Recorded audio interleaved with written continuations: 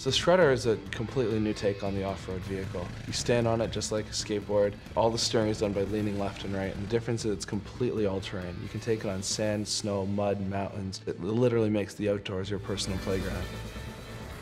I'm Ben Gulak, I'm 23 years old, and I'm the CEO and founder of BPG Works. I got my start in the business world right back in grade 9 when I started my first science fair project. I wanted to make something cool, and in the end it ended up being an all-electric, self-balancing, single-wheeled motorcycle. Flash forward six months later, it's on the cover of Popular Science magazine as Invention of the Year. I think the Uno sparked my passion for designing vehicles and the Shredder as a continuation from that, and I just like making things that go fast.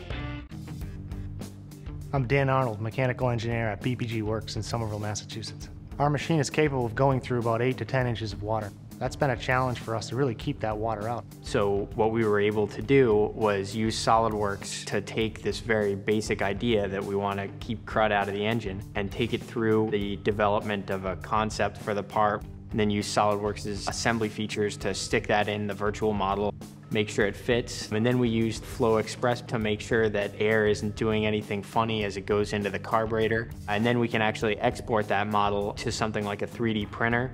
And uh, a few hours later, we have that physical part on our desk. My name's Danon Metke. I'm a mechanical engineer here at BPG Works. We're in the final home stretch, and after five years of working on this project, it's a really exciting but critical time right now because there's so many things that could go wrong. We just got our first batch of prototype shredders sent over from China. Our engineers were just over there testing and working with them. Then we're doing another mini production run, and then a final production run, and then we're in production. SolidWorks is the reason we've been able to come out with this product. We have offices in Toronto, Boston, and then our manufacturing is in China. And the only way to keep everyone connected and working off the same drawings is through the SolidWorks Enterprise PDM software. Instead of who has this file, like who made these changes, you have a very orderly transition between team members so that it's constructive instead of destructive. I worked really hard to get into MIT, and I never pictured myself starting this company and having the company grow with the legs that it did. I took time off of school just to focus on it.